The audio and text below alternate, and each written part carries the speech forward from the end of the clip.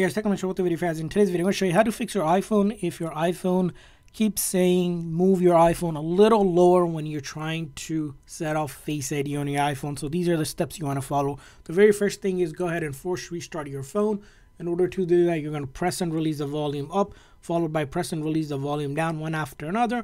And then you're going to hold the side button until the screen goes completely black and you see the Apple logo appear. At that time, you'll let go of that button. So I'll do volume up, volume down and then I hold the side button and make sure you press volume up and down quick. You're just going to press and release one after another and then hold down the side button just like I am right here. As you can see here, I'm not sliding to turn off. I'm just holding that side button. And once I see the Apple logo, I let go of that button. That means the phone is now restarting, is shut down completely and reloading the code. So if there was any issues with it before with the software, it will fix it for us.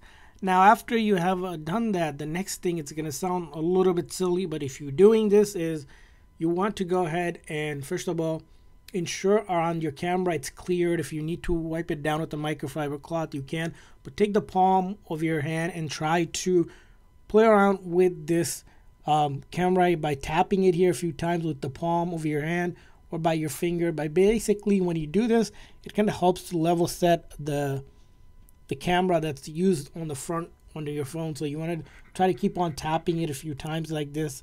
Now don't do it too hard. Of course, you don't want to break your phone screen. So you do this a few times and then go into your setting of your iPhone and then again go to Face ID and passcode. And this time after you have done that, ensure that password autofill is turned on along with all these as well. But it's going to be important that you turn that on and then after that, you can go ahead and reset your Face ID if you already have one. If not, that's fine. And after you reset it, you're to set it up again. Another thing you could also try to do is setting up an alternative uh, appearance. If you have like a glass or something, you could also create another one. And also you can use mask as well. But go ahead and reset it, right?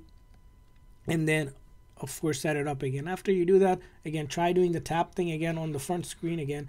That seemed to be a weird bug going around, but it will help you fix that problem. So that's all you need to do in order to fix the problem. I hope this video helped you guys fix your Face ID issue with your iPhone looking to move a little bit lower. And if so, please like and subscribe button. Thanks for watching, guys. See you guys next time.